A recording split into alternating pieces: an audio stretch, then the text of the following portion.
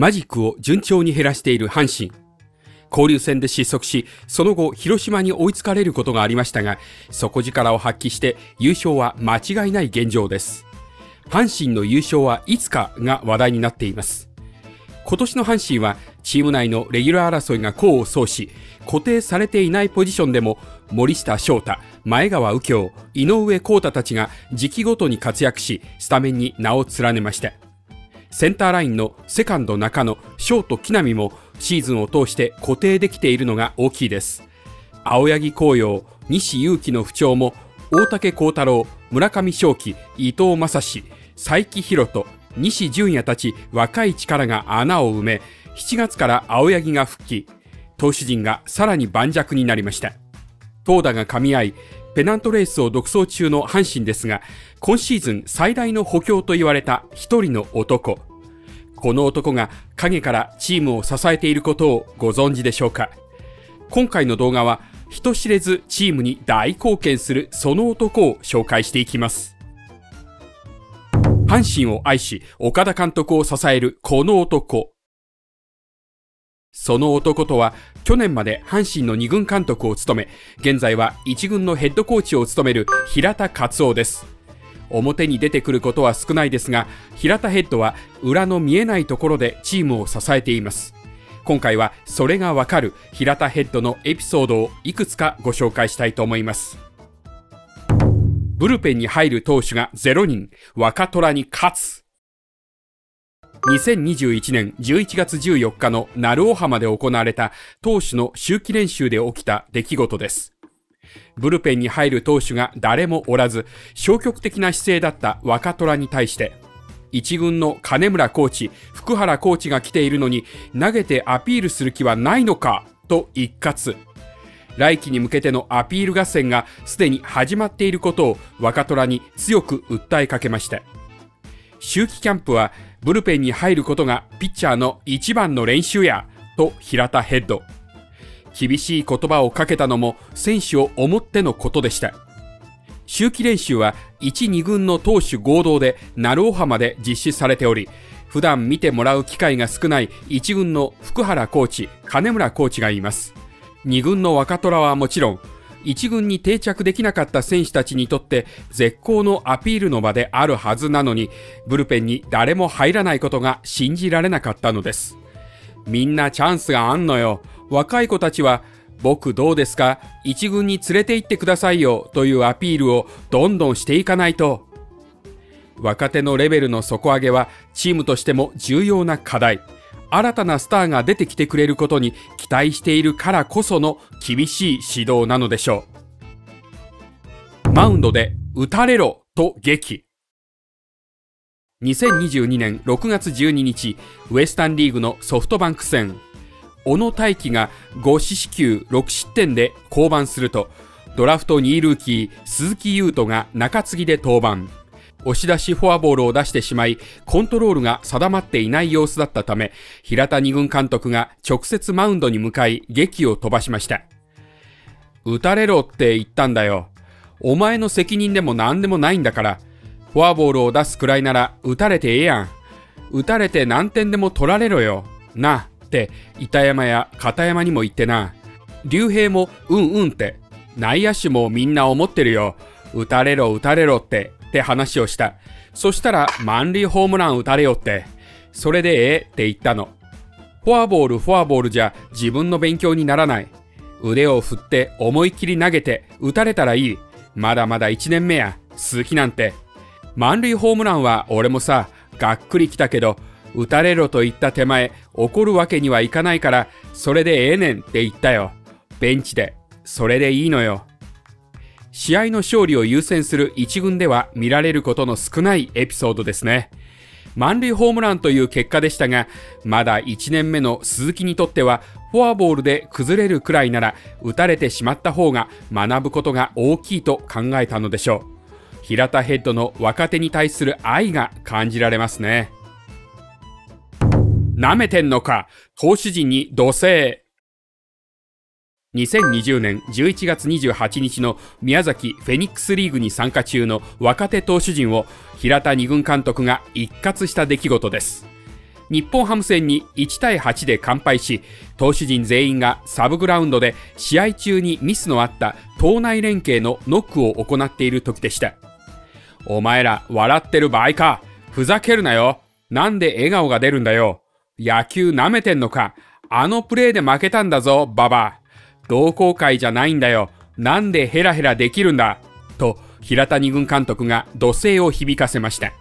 試合は先発馬場がファースト片山との連携ミスから失点を重ねるなど5回5失点と乱調課題を克服する練習でしたが当の馬場らが緊迫感を欠き笑みを浮かべる選手さえいました甘い空気に耐えかねた指揮官は鬼の形相で叱咤したわけです約2分間の雷を挟んで党内連携のノックは再開。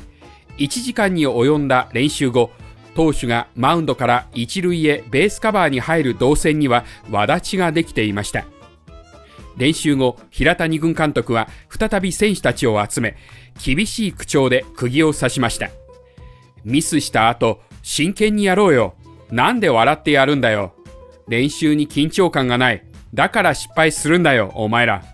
もっと一つのプレーの重みを感じろ馬場何を一軍で今年は経験させてもらったんだもっとよく考えて、大事なプレーなんだよ。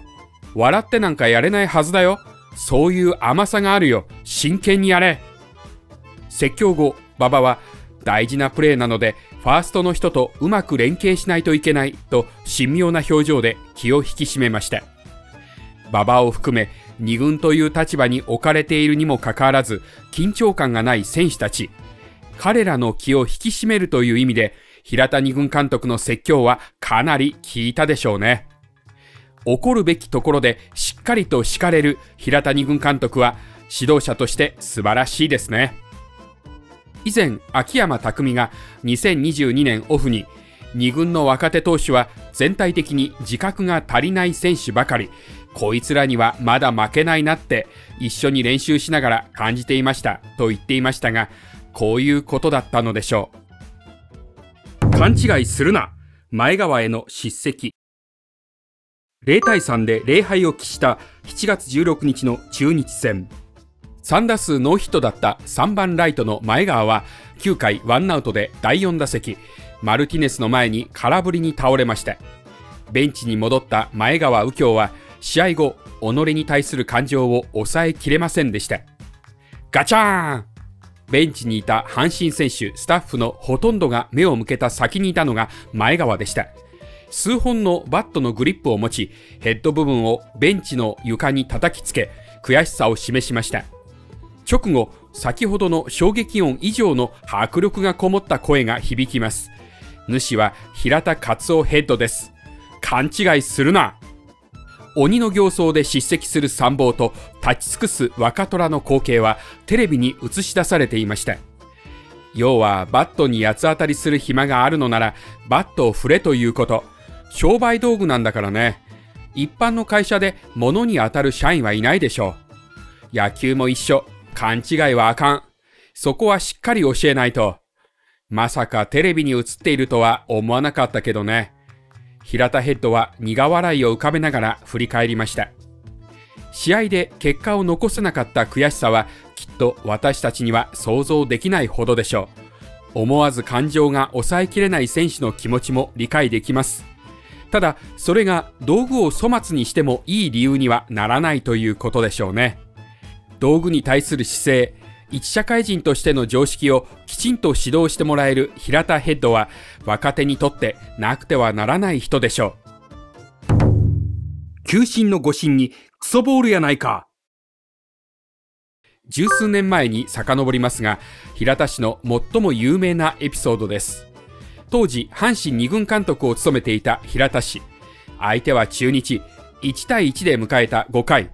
ピッチャーが投じた球はワンバウンドに近いような球で、見ている誰もがボールだと思いました。しかし、球審はストライクのコール。その判定に相手のキャッチャーまでも思わず一瞬動きが止まるほどでした。するとすかさずテレビ越しでも聞こえるほどの大きな声で平田二軍監督のいろいろな言葉が飛び込んできました。クソボールやないか、あんなん。意地になって取っちゃダメだよ。何を言ってるんですかじゃないやろ。なんや、そのふてくされた態度は。テレビを見てみ。勘違いしたらあかんよ。そして発した言葉の中でもこの一言は多くの人の心を打ったと思います。選手は一生懸命やっとんのや。この言葉に平田氏の全ての感情が詰まっているように感じます。野球選手という職業は明日がどうなるかもわからない将来が確約されているわけでもない世界です。その中でも2軍の選手は結果を残せなければ戦力外というよりシビアな世界で全力で戦っています。一球一球の判定が明日を決める結果になるかもしれません。だからこそ一球への判定にここまで一生懸命になってくれる監督がそばにいるということはきっと選手にとってもすごく嬉しいことだろうと思います。平田氏は間違いなく最高の二軍監督でした。阪神を陰から支えるこの男、まとめ。今回の動画はいかがでしたでしょうか？阪神の若手選手は2軍選手でも周りからちやほやされて選手の成長を阻害するといいます。人気チームだからこその現象ですが、そんな中、厳しい指導をしてくれる平田ヘッドの存在はとてもありがたいことです。名監督のそばに名参謀ありですね。ご感想やご意見がありましたらコメント欄で教えてくださいね。この動画が面白いと思ったら平田ヘッドが好きな方がいらしたらいいねボタンとチャンネル登録をよろしくお願いします。今日も動画を見てくれてありがとうございました。また次回の動画でお会いしましょう。